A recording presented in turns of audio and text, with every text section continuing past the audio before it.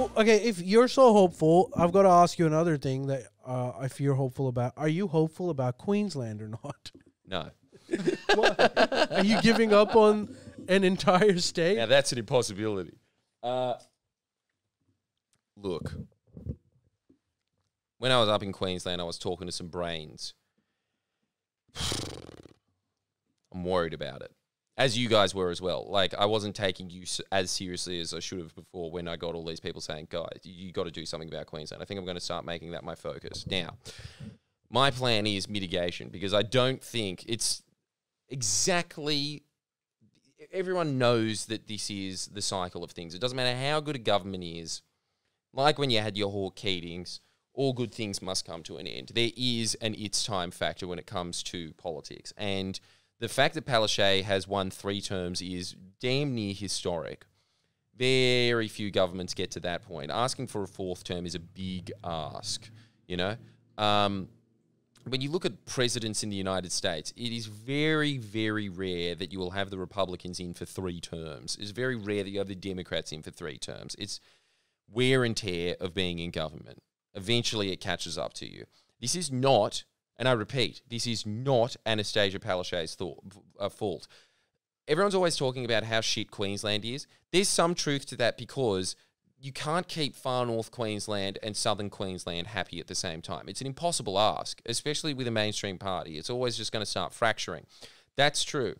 You look at the numbers, though, that state has rarely ever been in better shape than it has been under Annastacia Palaszczuk. When people are talking about a hospital nightmare, in most of the important metrics when it comes to healthcare, Queensland is up there with the best of them. It's usually getting the one, two, or three mark when it comes to these things. Uh, more often than not, one or two in terms of the healthcare metrics. This is the big push that Crisafulli, the opposition leader, is going for. He's you know, it's a healthcare nightmare.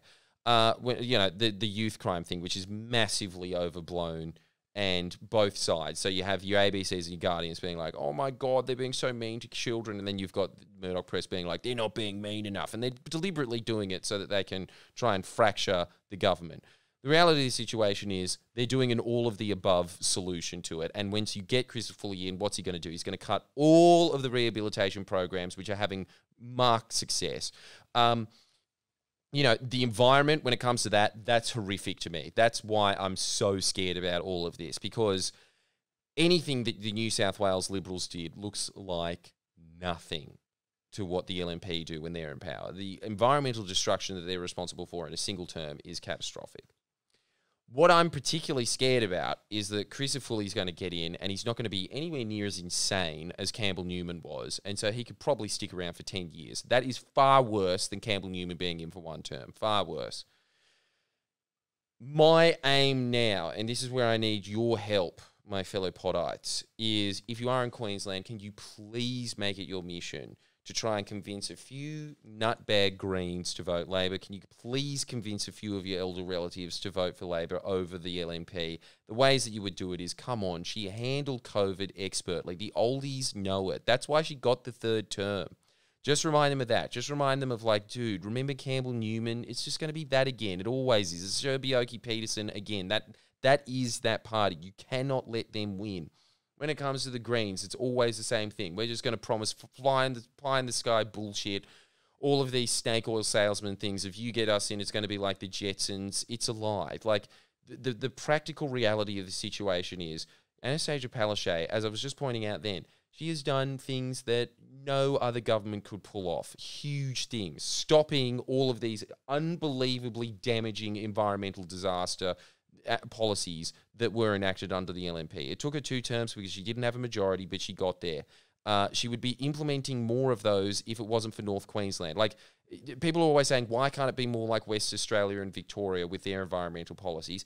Give her a wide enough majority, she'll get there. We're not even asking for that at the moment. We're just asking to get her over the line.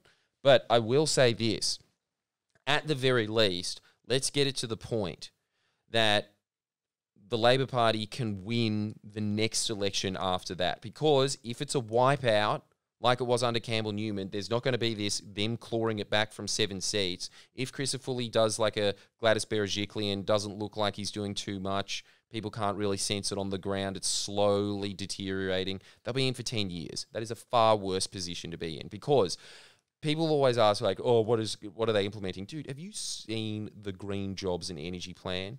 It is the most comprehensive plan in the country. We're talking $64 billion of investment into transforming Queensland into a green energy hub of not just Australia, the world. That's Palaszczuk's policy. You, you're worried about climate change. Queensland could be one of the key fulcrums that implements massive change, not just in Australia, globally. This has huge knock on effects. You invest that much money in a place like Queensland. These are things that are worth fighting for. So okay, so obviously you can't really uh, uh, even you can't even play devil's advocate to defend the libs on uh, environmental policy. But like the two things that you mentioned was healthcare is a mess and youth crime. So let's let's talk about healthcare first. Healthcare is a mess throughout the country. Is it more of a mess in Queensland? Because I know even in New South Wales, like there's a reason why Chris Minns is putting so much money into healthcare because you know we are running short of like nurses, He was getting gutted. paramedics. So it's I feel I feel like this is an Australia wide problem clearly, but is it a particularly bad issue in Queensland? No, as always, the it's a particularly bad issue in Queensland because all you have is the Murdoch press in Queensland. So they're able to, I hate this phrase, but cherry pick data that makes it look like Queensland is this hospital hellscape. When in reality, you look at the stats, overall, it's doing very well. Exactly the same with youth crime. Crime has been going down consistently under Annastacia Palaszczuk. Yes, there is a small contingency of youth crime that is particularly egregious in Queensland. The general trajectory, even of youth crime, is she just passed this. This is the, this is the lowest stats of youth crime recidivism, as in like doing the going out of the system and committing more crimes. This is the lowest that it has ever been since records began. Yeah, but youth crime was like a major issue in Victoria last year. Like, is it again specifically bad in Queensland? It's, I mean, look, it's the same it's, sort of it's trend. worse than it is in any other state. I'll give it that. But like what happened in Victoria when it was the worst in any, in, any other state, Daniel Andrews just started working on it, and a couple of years later, like it's it's a lot better. Like yes, you're you're going to point to all of these articles saying, what about these guys getting mugged? What about this car theft here? What about this murder? But this is the big lie that the press are always trying to pull, and this is something that I think you need to start pressing amongst all of your friends and family. There is this myth that the press are always trying to pull in people's heads that if only we got this government in, the world would turn into a utopia. There'd be no homeless people, there'd be no criminals. What are you talking about? To quote the Joker, we live in a society. There's always going to be criminals. Mm. There's always going to be homeless people. This is not. th- there are things that governments cannot do. And this is the thing that I think this is what I'm hearing over and over again. This is a very powerful message to get into people's heads. People, this is great because, uh, like, we live in a world filled with a bunch of Redditors always attacking us. So we think that this is how the general population thinks. They don't. The general population is willing to give government slack. They give, they're very willing to give government slack. They know that the government is not going to solve all of the world's problems. They know that that's wishful, weird thinking that just gets niched and, and like, I don't know, fetishized amongst like internet circles. What they want is a government that is batting for them. That's all they want. That's all they ask for in a government. yeah, but here's another point that I think is But d- isn't isn't hang on. Sorry, when it comes to Pakistan and with Imran Khan, don't you think that that was a big part of his appeal? It was like no one thought that he was just going to turn Pakistan into Turkey overnight. No one thought that, but they thought he's giving it a go. Yeah, he's giving it moving in the right direction. Yeah, that's why he was popular. But like uh my my other like the thing that's sort of missed in this youth crime debate because you're we're focusing on the effect that youth crime rate is high. What is the government doing about it? But like if you're gonna gut social services and any kind of funds for what we what the liberals or the coalition calls like handouts, if you're just gonna like constantly starve your population of this for like a decade, yeah, there's gonna be like youth crime as a result. Yes. This is directly connected. Yes. The higher your poverty rate is, the higher your crime rate goes. Absolutely. And so, like, if you're saying that youth crime is high, I'm gonna focus on what's causing that because it's much.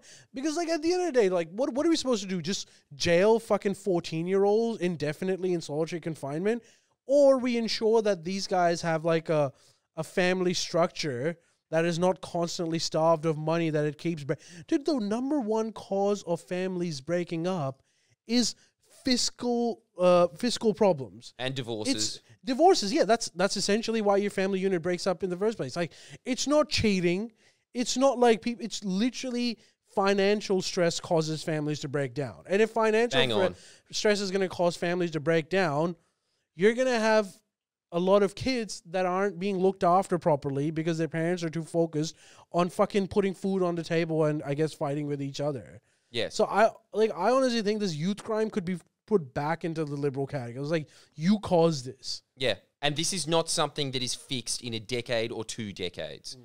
This is a long term. And also, on top of this, look, Ali's absolutely right. That is the number one cause of this, the f- breakdown of the family unit. But it is one factor. It is one factor. There is a myriad of factors that are involved in this.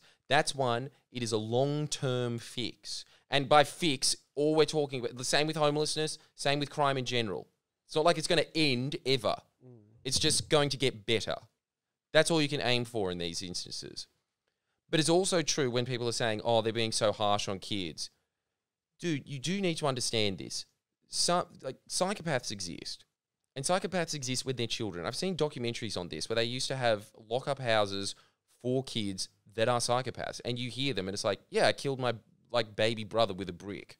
It's like, dude, you can't do anything with someone like that. They're just fucked in the head. Maybe one day we'll have some miracle drug that like gets their chemicals back in the right way or something like that. But in the meantime, do like, have it. dude, It's there is things you just need to do to just prevent and like get those people out of society. Like you know, that's one element of it as well. But that is all the liberals are focusing on. Just that. Just punishment. No, go and face your victim. I, I can't believe this. I read this stat the other day from the press, from the Murdoch press. They were saying Annastacia Palaszczuk's huge failure on crime, uh, her recidivism program of making the victims have a conversation with their perpetrators. Oh, it only has, how's this? A 50% success rate. So that one program reduces repeat offenders by 50%. That's pretty good and they're reporting it as a massive failure because it's not because it's not 100%. 100%. Yeah, I This is the I press circumstance that you're up against. Like, and the people are sitting there saying, "Oh, I wonder why Palaszczuk is going so low." Yeah, there's some wear and tear to it, but I it's would also, take This is the media ecosystem she's in. I genuinely would take thirty percent. I would take fifteen. yeah, I take five. as long as the trajectory. One in twenty. Yeah, it, nah, that's kind that is ridiculous. But so you're saying the main issue is it's time. People get bored. It's time. It's the Murdoch press. It's also just people sitting there and coming up with their weird little conspiracy theories in their living rooms and saying, "Yeah, fuck that. That's because of her." It's all of those issues. Uh, Dude, I wonder why like Queensland that faces the brunt of the climate catastrophes. I mean, bushfires are everywhere and shit, but flooding is horrible in Brisbane. oh yeah, Like, why doesn't like environmental uh, policies take as much traction? they do in the south. It's the Uh, north. The north cannot stand anything remotely environmental. They see it as commie. So because they're not as affected by it. But aren't they? no, like, they are. They're more shit? affected by it. They just look. The old phrase "going troppo." It's if you've ever been to Cairns or Townsville, you can see it. Most people are insane up there. Yeah. Well, uh, whenever the elections are, we we've got to try as much as possible. That's what I'm saying. So, as always, it's so important for you to join your union. It's so important for you to join your local branch so you can see what needs to be done in your electorate. Because the one thing that we always have is that if you have a popular candidate in your seat, or at the very least, they're liked enough in their seat, doesn't matter what hit job you do on them, you would have to focus like they did with Jackie Trad because they knew that she was a real strong point of the last electorate. So the Greens and the Murdoch press teamed up to get rid of her. And there was also a demographic shift, that's true. But it was a very concerted effort to get rid of her because she was keeping the government on track. Other than that, though, they can't focus their energy on 20 candidates that are popular and liked and known in the community. Yeah, just put up like footy players in marginal seats in North Queensland. Always what I said. Footy Should players, Absolutely do it. cricket players, but hope preferably from that area. You don't want to like parachute some Yeah. Collingwood player from Melbourne Yeah. all of a sudden. I'll take a coach. Yeah, someone that you know is well liked. in Good government is society, like a good team. You need a strategy. Winning. Yeah, you need a strategy. formula they right need to there. do a bit of an Albo. They need to like appeal. It's like, hey, I'm I'm harmless. I'm good. Well, that's what they've been coasting on for the last ten years. You can only, but that's that's Albo's strategy. He's trying to do what Annastacia Palaszczuk did in Queensland. She's just trying to stay there for ten years because, as always, you can get more done in ten years than you can in three. Um, Is what's her name coming back? Terri Butler. State? Don't think so. I think that Terri Butler is kind of a bit done with politics. I don't know. I'm gonna have to look into that. Yeah, after Jordan Peterson owned her on Q and A, take it. she's done. Take it. Uh, yeah. um, yes. So that's very important. And I think a big thing with all of this is just like I was saying with dog pounds, the best thing that you can do as Zoomers is go to your local dog pound and say, I'll take photos of these animals and we'll circulate them on Facebook and TikTok and all that shit because they're oldies. They don't get it. It's exactly the same with Palaszczuk's team.